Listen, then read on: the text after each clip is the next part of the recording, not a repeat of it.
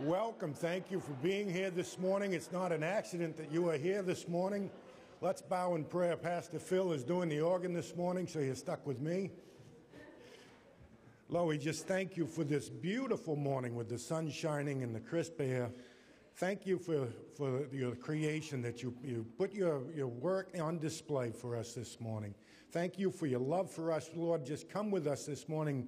Have us to worship you in a, in a great new way this morning. Just thank you for, for the blessings that you give us. In Jesus' name we pray. Amen.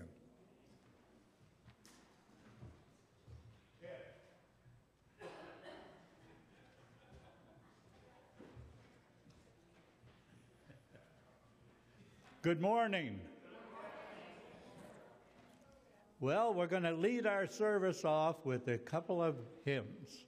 And uh, oh, Worship the Kings on page 104, or you can use the overhead here.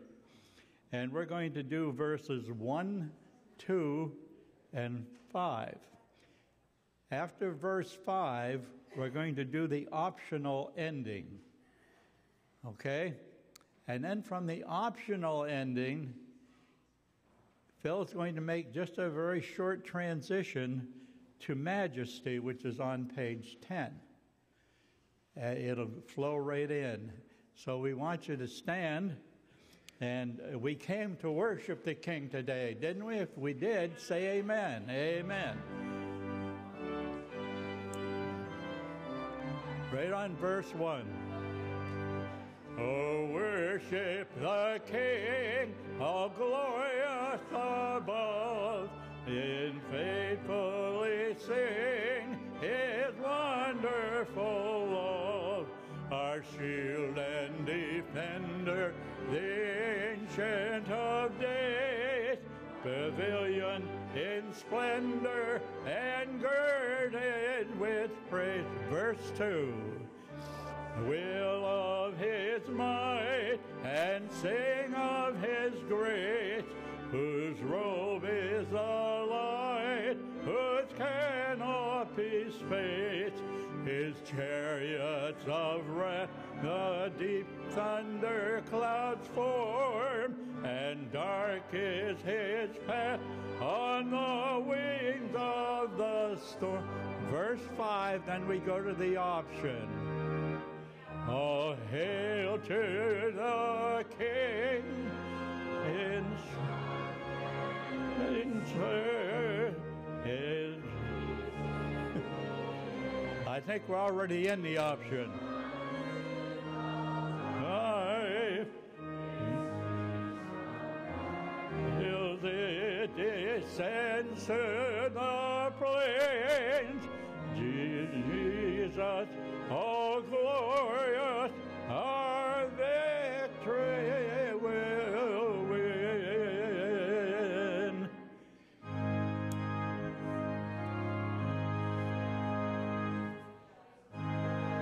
See majesty, worship his majesty, unto Jesus be all glory, honor, and praise,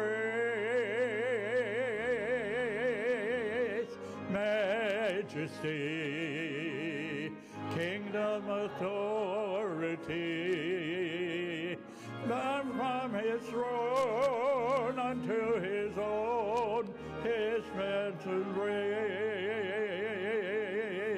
So exalt Lift up on high the name of Jesus. Magnify, come glorify Christ Jesus the King. Sing it out. Majesty, worship His majesty. Jesus who died, now glorified, King of all kings. You may be seated. Good morning. Our scripture reading is in Philippians 2, verses 1 through 11. In the in the Pew Bible, it is page 1162.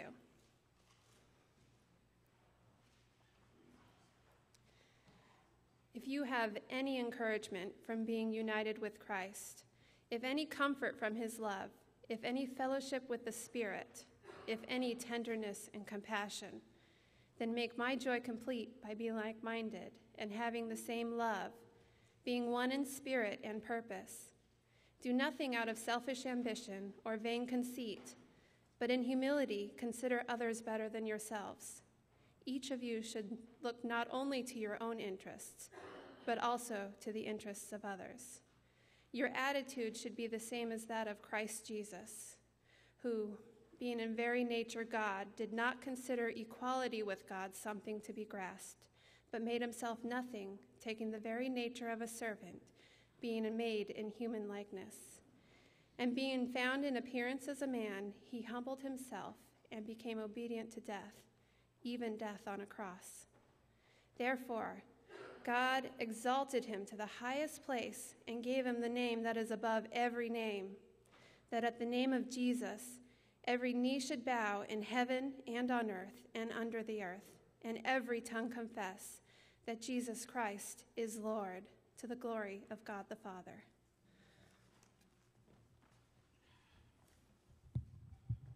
Would you pray with me, please? Oh God, let the words of my mouth and the meditations of my heart be acceptable in thy sight, my strength and my Redeemer. Father, we come before you this morning praising you for your great mercy, for your love, for your compassion, for your truth. Lord, especially this week, we, we are focusing on that. we confess that we often do things for our own glory and not for yours. We're often more concerned with our appearance and others' opinion of us and our accomplishments than with your getting the glory through us. Jesus, when we think this Palm Sunday and meditate on how you had emptied yourself of all of your visible glory to take that form of a man to ride down the streets of Jerusalem in your triumphal entry. And yet you were getting ready to walk that road to the cross, willing to suffer and die for us, you who knew no sin. It's still hard, even after all these years, for me to think about that, what you did for us. Lord, we're just overcome with gratitude, I know, all of us, for all that you did. As we think about your taking on all of those sins, Lord, you who knew no sin, you who loved us to the very last moment. Please help us to remember that sacrifice this week, the great sacrifice you made to become a servant. Help us to keep our hearts and our minds focused on you. Help us to always be thinking and working for the good of your people and for your glory. Help us through our own physical, mental, and emotional infirmities to be glad that we, we can share in your suffering. Help us to speak your precious name to others and to share our faith, that those who do not yet know you will be moved to bend their knees and to acknowledge you as Savior and Lord. Help us, dear Jesus, to be focused on those around us and on how we can help them, even as you helped us. And Father, thank you that eventually we will be able to share in your glory and see you as you are meant to be seen as we rejoice in glory with you. Thank you again for this week, for all you did. In Jesus' name, amen.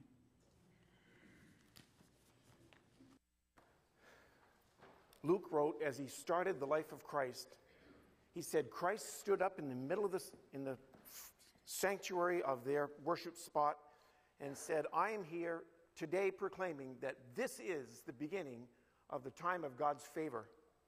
And as Jesus, at the end of his earthly walk, came into Jerusalem, people lined the streets and said, This is the day of the favor, because blessed is he who comes in the name of the Lord. We're going to sing a song that actually takes us to the next time that's proclaimed.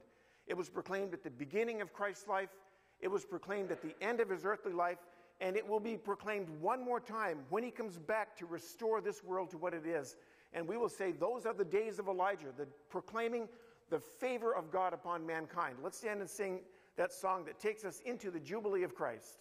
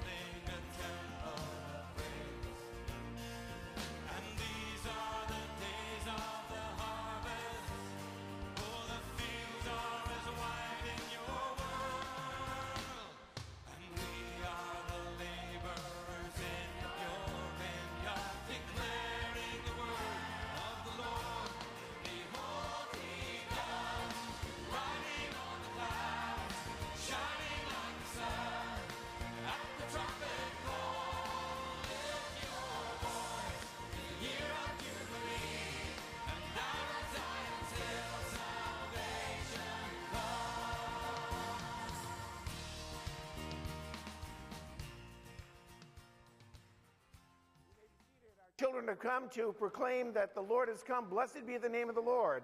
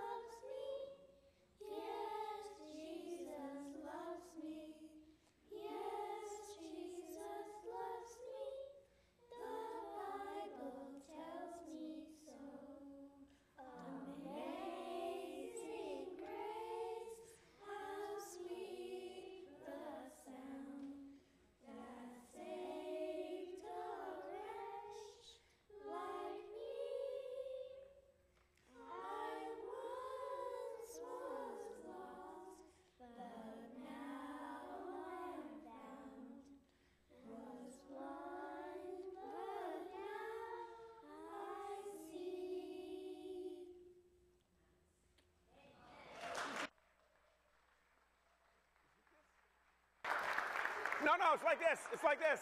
It's like this.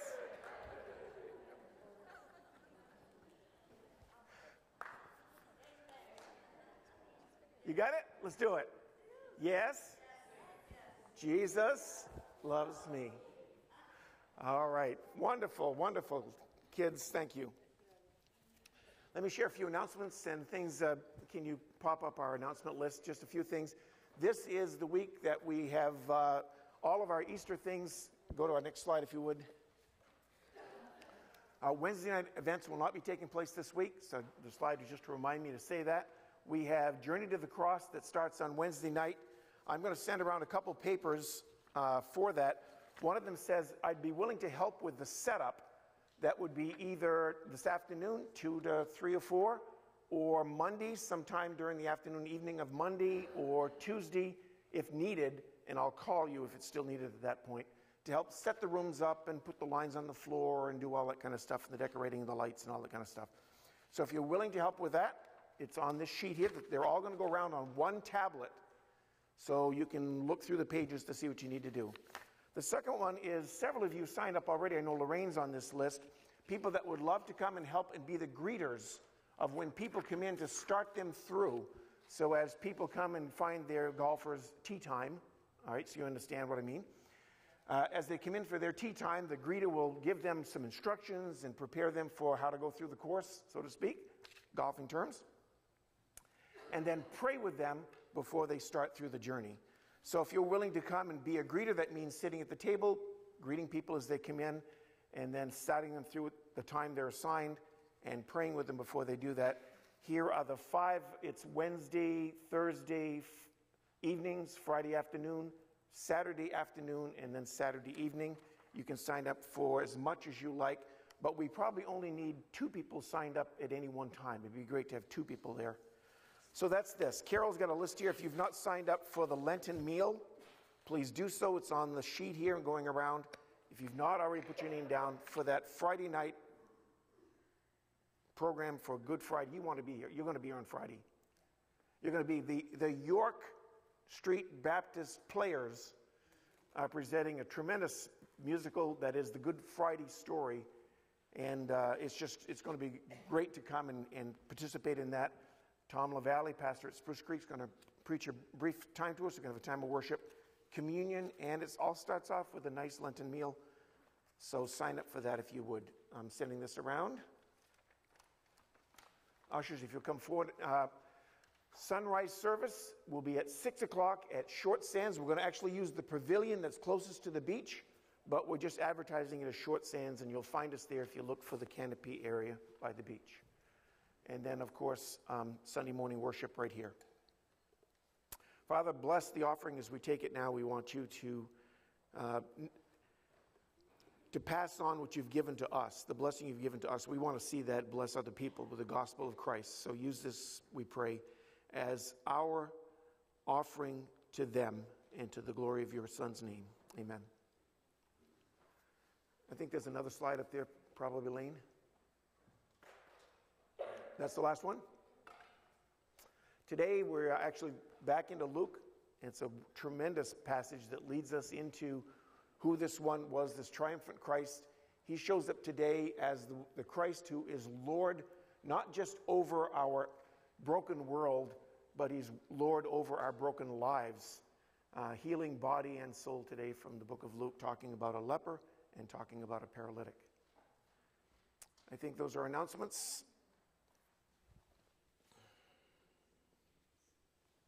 I didn't hand out uh, slips. Um, we have Nicole and John Osgood are going to talk to us about Journey to the Cross. We want to spend a little time encouraging each other to take part in that. Uh, we, if you've not done the journey, you, this should be your first year. And if you have done the journey, you know that you want to come back and do it again. Already the phone has started ringing in my office saying, from people outside our church, saying, when is the journey going to take place? Uh, is it the same as last year? Can we